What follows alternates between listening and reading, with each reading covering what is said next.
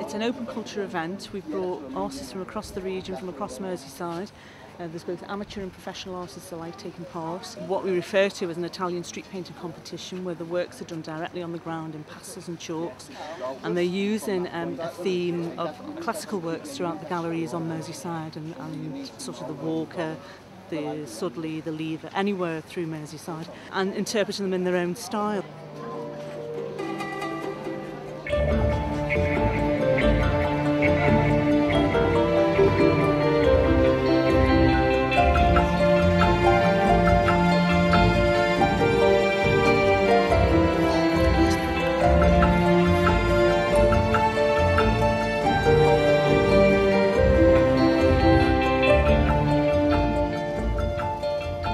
That this is the first of many uh, to come. Uh, there's, a, there's some great prizes up for grabs this evening. We're going to be having an awards reception um, in Maggie Mays tonight in the Carling Gallery. We've only had five weeks to do it in, um, so everyone's applied on the internet and downloaded their uh, application forms. And um, this is this is the result of it today. And we're going to have the judges coming down throughout the day. Um, we've got Phil Redmond, we've got Ian Jackson from uh, uh, liverpoolart.com. We've got, uh, who else? Peter Dover from Hope Uni. We've got uh, Mike McCartney coming down to judge as well later this afternoon.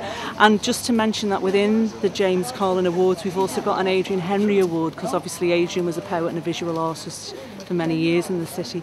Um, and it was sad, you know, obviously when he passed away. But we've got Catherine, his partner, coming along, and she's going to be judging as well. So Catherine and I are helping judge for the Adrian Henri bit of the, the creativity and originality. Oh, see.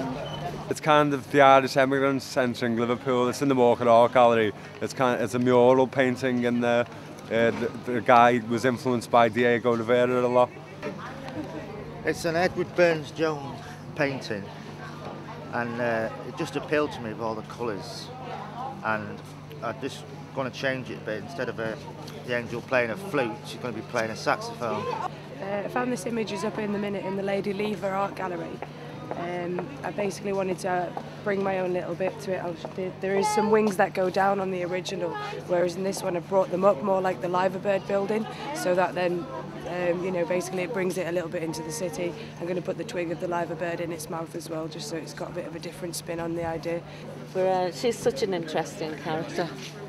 Uh, I, I thought it would be a uh, it would be good to do. She's got an incredible face and her hands are like hard-working woman. That's a picture of uh, Bonaparte who crossed the San Bernard's Pass between Switzerland and uh, Italy. It was. Uh, I haven't showed this because I'm French. Just I showed this um,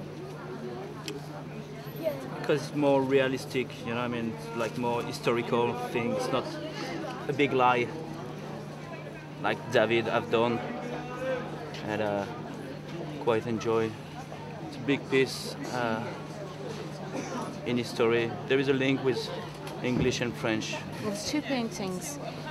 The lambs are in um, the Walker and the scapegoat is Holman Hunt's it's in Port Sunlight. I've chosen this theme because it's my sort of take on what's happening in society now a lot of people acting like sheep, selling all the shares, scared, and they looking for a scapegoat. Perseus riding Pegasus and um, rescuing Andromeda from like a dragon, but I've changed the setting a little bit to um, I think it's called the ruins of Holywood. It's Samson and Delilah, a classic love story for one. Fascinated by the the relationship between men and women and why it always goes, you know, one way or the other. And there's, you know, it's just that thing, isn't it? We can never quite work each other out. Playing Flaghorn, Edward Burne Jones, basically. Um, but what I've done with her is I've tried to bring her into this century. So um, I funked her up a bit, you know, changed the hair, changed the instrument, and I've had her looking up and looking at you, not looking down. The Rape of Europa. Um, Zeus who was renowned for turning himself into different animals, coming down in the earth and running away with women.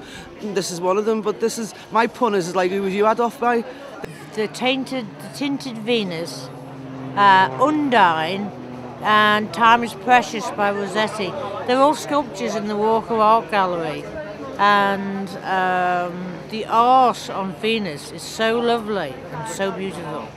And it caused such a stir when it first came out because the marble is tinted pink and it was so flesh-like that people gasped. It was a painting by uh, James Tissot, uh, t- uh, Tissot in 1877 of uh, a wealthy cotton broker's wife and her family. and I wanted to juxtapose, if I have time, uh, the picture of J- uh, James William Carling uh, with his begging bowl.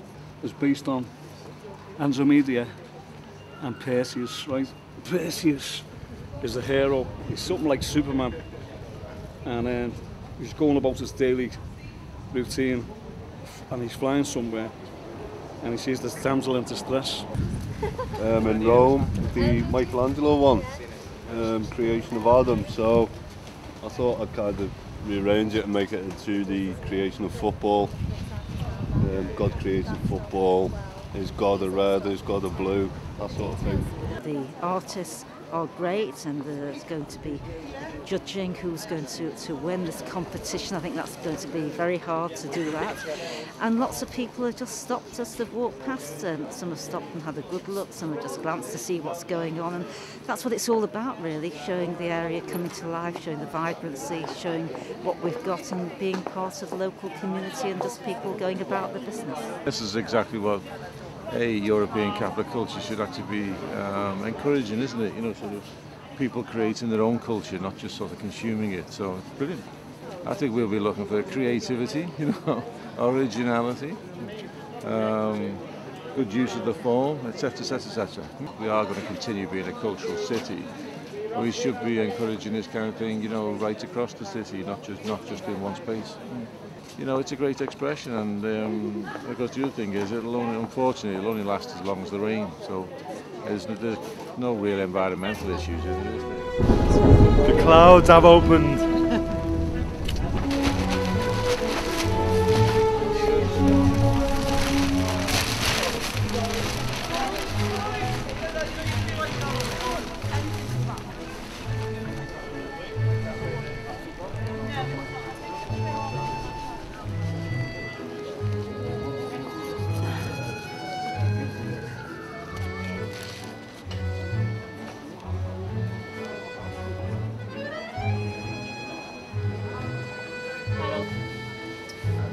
Unfortunately, it's uh, public can't see it at the moment because the rain has obviously uh, necessitated the covering of the images with the plastic. So I'm trying to do my judging through this haze of semi-transparent cover, and uh, I'll do my best while the rain holds off. Yes, quite technically and some uh, talent here, isn't there? I'm looking forward to having a proper look around, and um, I've got to decide with the others who's, who's the winner is. A lot of people here, it's obviously very popular, drawing a lot of people here. And uh, despite the rain, it's um, it looks like it's been a good success, yeah. It's an amazing event. I mean, everybody's absolutely loved it. Uh, I'm working as a project from Open Culture's point of view. You know, it really has shown how local artists really want to get involved. You know, you can just see everybody really, really loving it. It's just, just incredible. And Urban Canvas have been supreme. The artists use pastels, chalk pastels, in order to recreate big pictures on, on the pavement. I, for the first time, I've noticed we have two angels. No, I don't know whose it is. Kojak. Kojak, I think it's Kojak. Kojak. Yeah, 12, look. There's not even on. It's uh, called Leaf Aglow. and uh, yeah,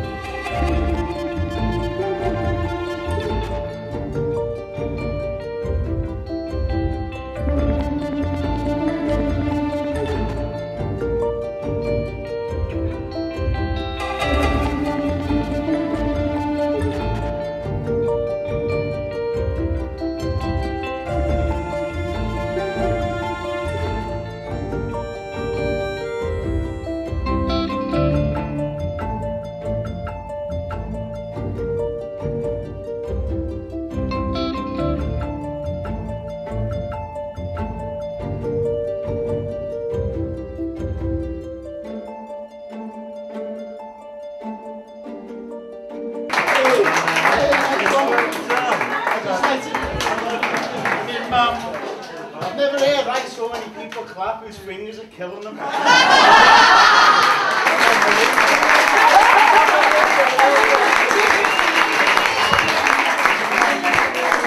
Thank you, everyone. I'd like to thank first and foremost plastic sheeting.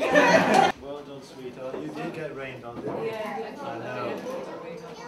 Thank you. And there's more. And there's more. And there's more. Oh, Beautiful. Mike, Mike.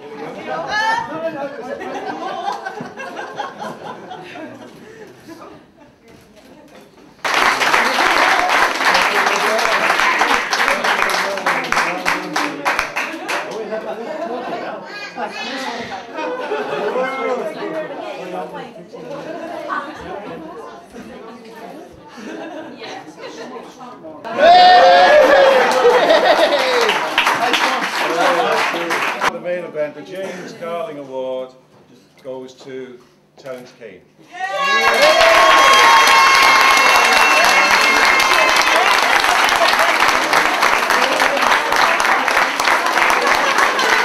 Like to say, Screevers of the world, unite!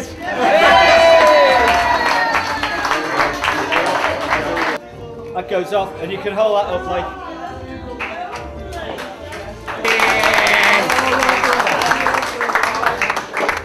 Five weeks, just kind of like putting it all together, and to see it come off and and um, uh, see the winners, uh, absolutely delighted. Everyone, the atmosphere in this room is fantastic. It's uh, it's been it's been more than worth it, and it's probably been one of the most enjoyable events that we've ever organised, and uh, I think we'd definitely do it again next year.